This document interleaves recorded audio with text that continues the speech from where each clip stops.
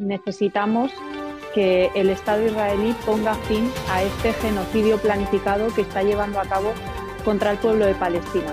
Creo que todo eso se da en un contexto en el cual Israel lleva durante décadas haciendo una política de ocupación ilegal de las tierras del pueblo palestino, robándoles las casas, asesinando gente también, maltratando y, torturando a parte de los presos que están en, cárceles israelíes. Necesitamos que la comunidad internacional eh, reaccione y responda a lo que es, sin lugar a dudas y desde mi punto de vista, una amenaza global a la democracia. Porque si se lo están haciendo al pueblo de Palestina, el día de mañana, que es lo que yo insisto, se lo pueden hacer a cualquiera. Me parece que el ejercicio de hipocresía que está llevando a cabo la Comisión Europea en este caso es inaceptable.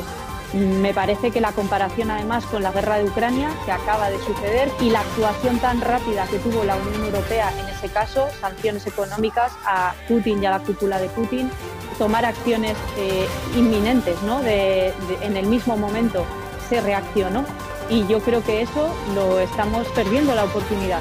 Yo le estoy reclamando también eh, a mi país y a otros países que rompamos relaciones diplomáticas con Israel porque me parece que eso mandaría el mensaje político correcto y es que no queremos tener nada que ver con un criminal de guerra como, como este líder. Make sure